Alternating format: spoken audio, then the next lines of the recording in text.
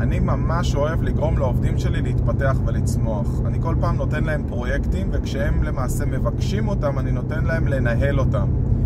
ולאחרונה פנה אליי אחד העובדים ואמר שהוא רוצה להרים קורס בעצמו. שאלתי אותו מה הוא יצטרך, הוא אומר אני אצטרך עובד שיעזור לי בשיווק של זה, אני אצטרך תקציב לפרסום, אני אכין את הסילבוס של הקורס.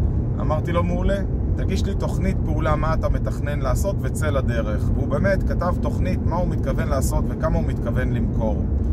עברו כמה ימים ושאלתי את ההתקדמות, וההתקדמות הייתה מספר עגול של אפס, ובעצם מה שעשיתי זה קבעתי להם יעדים וטווח זמן כלכלי ומספרי עם תאריך מאוד מאוד מדויק, כמה הם צריכים להגיע עד לאותו תאריך, וכמובן אי הצלחה יגרום לביטול של הפרויקט, כי אי אפשר להמשיך משהו, בטח לא נעשה משהו שייכשל. חשוב מאוד כשאתם נותנים מטלות לעובדים שלכם, להגדיר מדדי הצלחה, מדדי כישלון וטווח זמן. אם לא תעשו כן, מה שיקרה זה שהעובד יכול להמשיך ולהמשיך לבזבז את כספכם, לבזבז את הזמן שלכם, לבזבז משאבים ארגוניים, לא להגיע לתוצאות ולהיכשל. אבל יותר מזה יש כאן מסר יותר חשוב. ברגע שאני בא ומציב לו זמן ומציב לו יעדים, הוא חייב להתכנס לתוך תוכנית פעולה, ואותה תוכנית פעולה עושה אותו יותר טוב בניהול.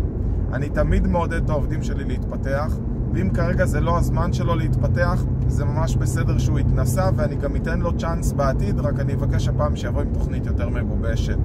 החוכמה זה לעבוד עם תוכניות, עם יעדים ועם מדדים, כי בדרך כלל מה שאני רואה זה שבעלי עסקים לא מודדים שום דבר, אלא פשוט פועלים ומקווים לטוב.